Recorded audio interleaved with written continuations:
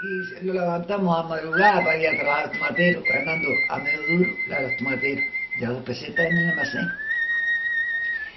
Muchachos, una vez fui a trabajar yo, José Faustina, Lala la Reita, la Mujer Maleta, con madrugada, para ir caminando a los moriscos, para llegar a la hora de salir el sol, porque a la salida del sol es la pega, y si eso aguantaba hasta las 8, hasta las 8 estábamos nosotros ahí, cuando eso se enterraba, soltábamos nosotros.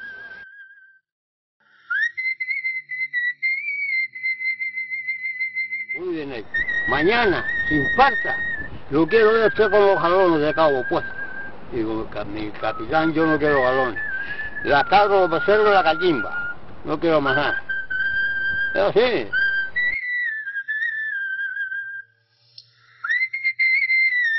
Pasemos hambre como arena tiene el mar.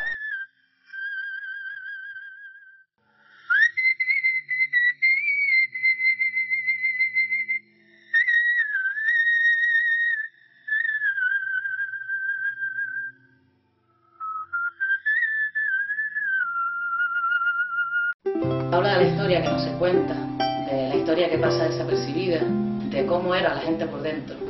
me recuerda, sin ser tan mayor, pero con los comentarios de mis abuelos y de la gente mayor, al hambre, penuria, miseria, sudor y sangre que sudaron para poder alimentarse. Desde chiquitito, ca- cargando aquellos barrios de, de, de piedra, de chiquitito.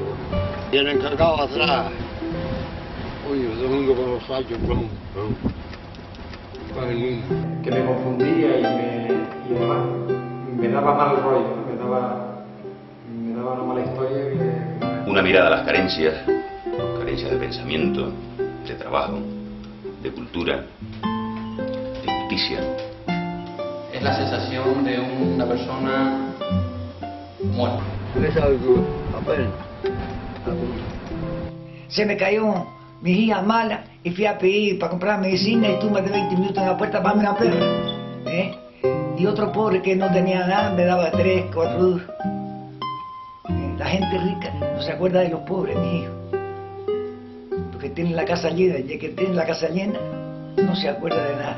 Antes había mucha hambre. Yo es que no termino de ver nada. Si realmente uno quiere emplear el elemento metafórico, puede emplear algo mucho más práctico, más directo. No, me, me, me, me choca, me llama la atención.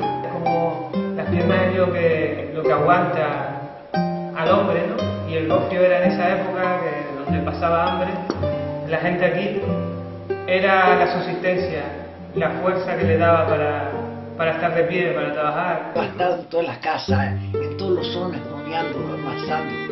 Y jamás mis hijos se quedaban sin comer y yo día limpiar las casas y encontrarme dinero. Se me parte mis manos, se le quitaban las chicas, allá me dan dinero en una basura y llevarse a su dueño. No, no, no, robado sí, cuando las aves que roba piña, los cercados, eh, mis hijos. Y si el público tiene la falta, también se la. Yo voy a coger la comida a mis hijos, que no se me murieran de hambre. Di viviendo.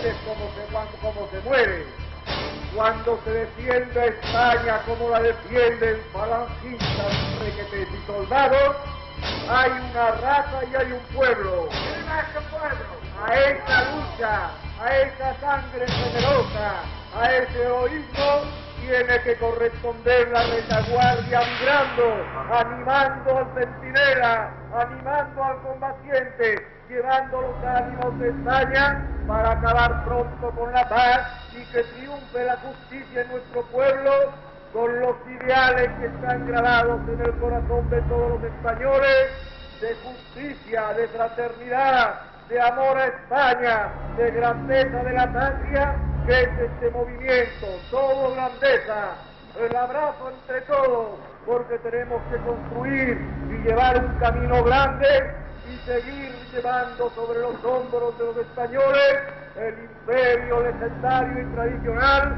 que la juven- juventud española forjará.